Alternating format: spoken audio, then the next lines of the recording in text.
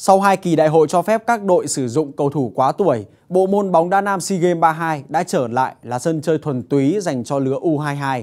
Nếu xét về mặt chất lượng nhân sự ở đợt này, đây được coi là một thiệt thòi cho huấn luyện viên Chu Xie bởi các học trò của ông đa phần vẫn còn non kinh nghiệm và rất cần những người đàn anh dìu dắt.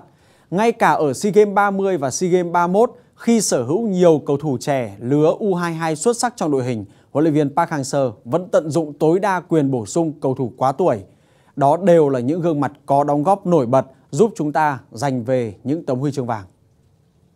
SEA Games 30 trên đất Philippines là giải đấu mà huấn luyện viên Park Hang-seo có trong tay thế hệ vàng của bóng đá Việt Nam với Quang Hải, Văn Hậu, Hoàng Đức và Tiến Linh. Tuy nhiên, ông thầy người Hàn Quốc vẫn tận dụng tối đa quyền bổ sung hai cầu thủ quá tuổi với Đỗ Hùng Dũng và Trọng Hoàng và màn thể hiện của hai gương mặt này đã không phụ lòng tin của thầy Park. Trọng Hoàng là cơn lốc đường biên với khả năng lên công về thủ bên cánh phải, còn Đỗ Hùng Dũng như lá phổi nơi tuyến giữa của U23 Việt Nam. Ở giải đấu mà Quang Hải không thể hiện được nhiều vì chấn thương, hai gương mặt quá tuổi đã lĩnh sướng các đàn em vượt qua mọi đối thủ để đăng quang trước vô địch sau nhiều năm chờ đợi.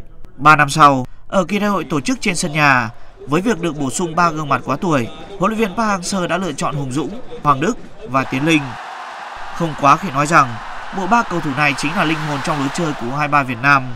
Hùng Dũng và Hoàng Đức cầm nhịp ở khu vực giữa sân, còn Tiến Linh lĩnh sướng hàng công. Đã không ít lần ở kỳ đội năm ngoái, U23 Việt Nam cần tới sự tỏa sáng của những cái tên kể trên mới có thể vượt qua đối thủ. Hùng Dũng và Tiến Linh ghi hai bàn thắng, giúp cho chiến dịch SEA Games mở đầu suôn sẻ với chiến thắng giòn giã 3-0 trước Indonesia. Ngoài ra, đội trưởng Hùng Dũng còn có thêm một lần ghi bàn giúp U23 Việt Nam thắng tối thiểu Myanmar. Còn Tiến Linh tỏa sáng kịp thời để giúp chúng ta hạ Malaysia trong hiệp phụ. Những khoảnh khắc đó đã cho thấy tầm quan trọng của các cầu thủ quá tuổi và sự vắng mặt của họ ở kỳ SEA Games sắp tới có thể coi là một thiệt thòi của lứa U22 Việt Nam lần này.